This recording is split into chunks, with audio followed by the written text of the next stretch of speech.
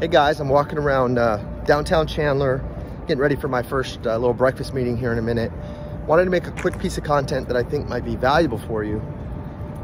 Uh, 2017 was the first year I made real money and I kind of went crazy. I was like 26 or 27, maybe I was 28. I don't, I don't know. I was mid to late 20s and uh, and I bought like a BMW Mercedes the same day, bought a big house I was just like doing all the things you're supposed to do when you're making good money. And I quickly found out it didn't make me any happier and I was, felt heavy. Looking back on it, I don't think I was financially sound enough to really have all that. So that's probably why it felt stressful. Um, I hadn't laid the, the foundation financially to really be comfortable. I was kind of doing what most people do is I was looking rich, but I wasn't actually creating wealth. Um, I was kind of on a a good looking hamster wheel. So anyway, 2017, downsized, read a book called Goodbye Things that changed my life. Got into minimalism, uh, didn't buy anything for a whole year, got rid of most of everything. And uh, since then, I've found some really good counterbalance. I'd say I'm pretty balanced when it comes to um, the way I consume, uh, making sure I find extreme joy in the things that I do have, making sure that I have utility in the things that I have, so I've done a pretty good job at that. But um, I even feel some baggage on me now. And so for Lent, what I gave up was uh, all of my Jordans and Nikes and really nice clothing that I have. Um, and I parsed it down to 29 items. So 29 items over the next, uh, whatever it was, it's 40 days. I don't know where we're at. It's probably a couple weeks left. And I found that I don't miss any of it. I don't, not finding myself longing for, you know, whatever, my Lulu this or my Lulu that, like, or my Nikes this or my Nike that. I have one pair of New Balance. I got some, some Jesus chanclas there that people have been clowning me for. Five shirts, five shorts, five, five pants.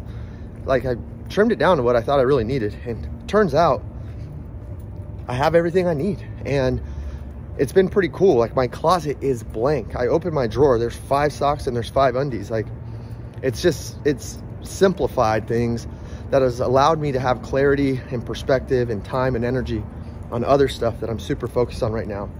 So I'm not saying that um, this is something you should do, but what I am saying is that I have, uh, I've gone all the way to the dark side on minimalism and didn't buy a single thing.